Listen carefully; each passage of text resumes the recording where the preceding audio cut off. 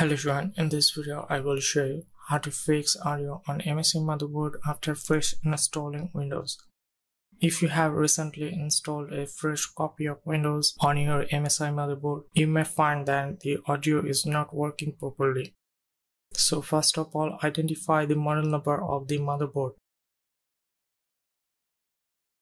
To identify, type in the search box system information.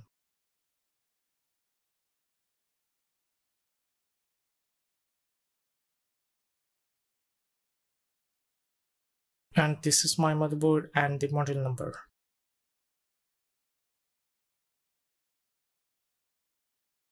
Next, open the web browser and type the model number of your motherboard. I'm using MSI motherboard so I'm going to type mine. You type yours.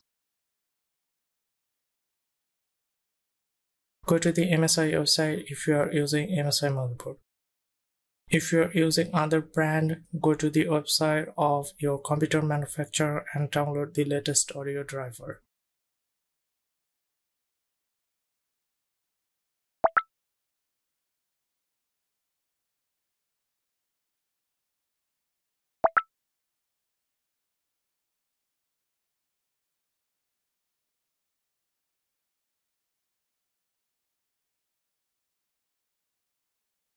After downloading, extract the audio driver and install the driver.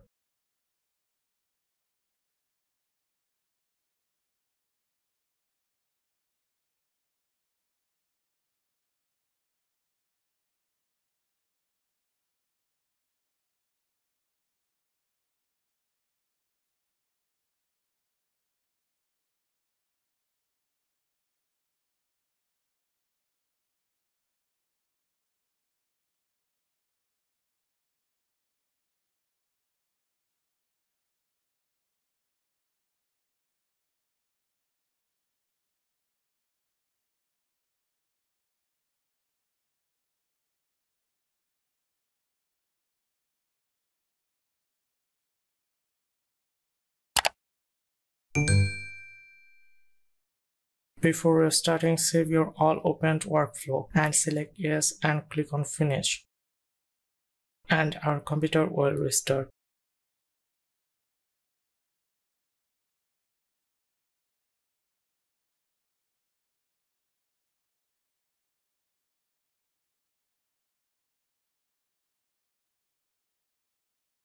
After restarting, it's working for me.